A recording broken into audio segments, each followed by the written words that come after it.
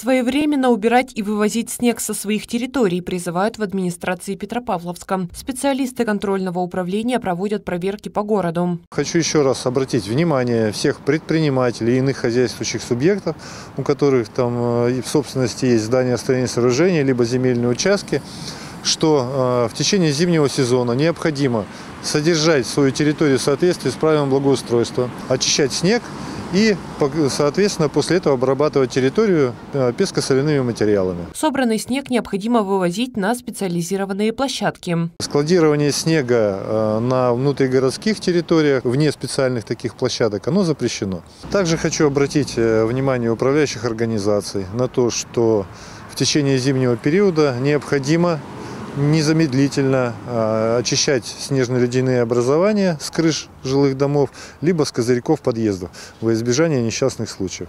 За этим тоже мероприятиями будем следить, ну и, соответственно, следующим образом реагировать при невыполнении данных требований управляющими организациями, либо иных собственников административных зданий на территории города Петропавловска-Камчатского. В контрольном управлении призывают соблюдать выполнение правил благоустройства города в части зимнего содержания территорий. В противном случае недобросовестных привлекут к административной ответственности.